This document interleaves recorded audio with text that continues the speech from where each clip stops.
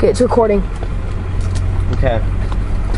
So what we're gonna do is we're gonna ding dong ditch this old faggot again because he just seems really gay, and I think it'd be pretty funny.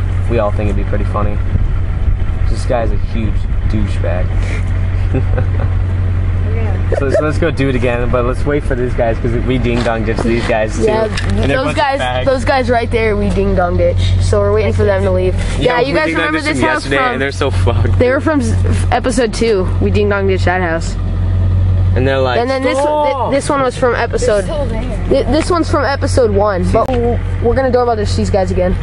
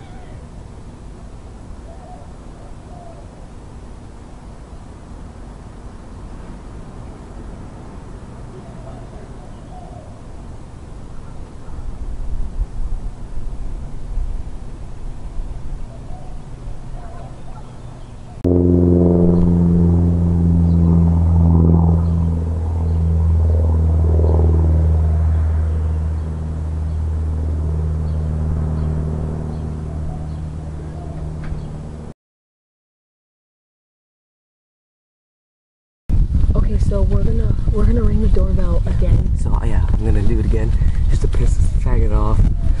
Um, yeah, the first the first episode we had this guy in it, but um he just came out, and then the second episode he, or in this episode he comes out again in the same exact outfit, which is kind of weird. But Conrad's gonna do it for the second ring. Dude, I'm gonna be All right, fucked Conrad, go get it. if he comes out. Go to oh, and um the camera view's just like this, just in case he walks off the screen, just like he did.